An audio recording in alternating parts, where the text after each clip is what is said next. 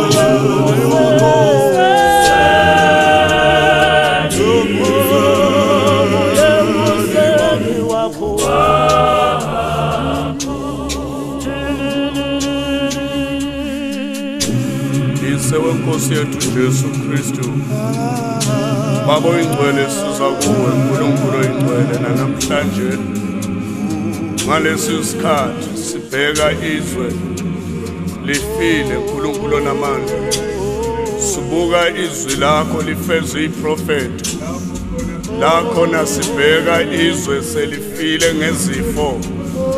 La sibheka uNkulunkulu kugcwaliswe kumbhalo. Othi izwe liyovukelana abadala bavukela abancane nabancane bavukela abadala. uNkulunkulu onamandla sikhulekela ngisho nabaholi balelizwe. Somandla oyingcwele ikakhulukazi ngazathi bangangalibusa izwe ngokuhlakanipha nangokwazi kwabo. Somandla oyingcwele kuko konke wena ongumqalisi nomphelelisi. Siyakhuleka nkulunkulu oyingcwele nanamhlanje ngoba ngikhumbula izwi lakho kuhezekiya mawuthi wena bazithoba babizwa ngegama lakho. Hawu nkulunkulu uma bephenduka abantu ezonweni zabo bafuna ubuso bakho nkulunkulu. Wathi wena uyokuzwa usezulwini uyoselula isandla sakho usindise izwe labo. Nanamhlanje Jehova usadinga abantu babuyele kuwe. Usadinga uNkulunkulu oyingcwele indoda ezokuma esikhaleni. Lapho mawuzothulula ulaka lakho lapho mawuzoqeda uNkulunkulu izwe ngolaka lakho kodwa udinga indoda ezokuma somandla namhlanje simi lapha siyabubula siyalangazelela ukwelakanyiswa. Ake uphinde ke uNkulunkulu usihawukele ngomusa. Phinda somandla oyingcwele usithethelele izono zethu. sibonga igazi esathengwa ngalo. Sibonga uNkulunkulu ngoba salotholwa ngegama likaJesu. Salotholwa egazini likaJesu.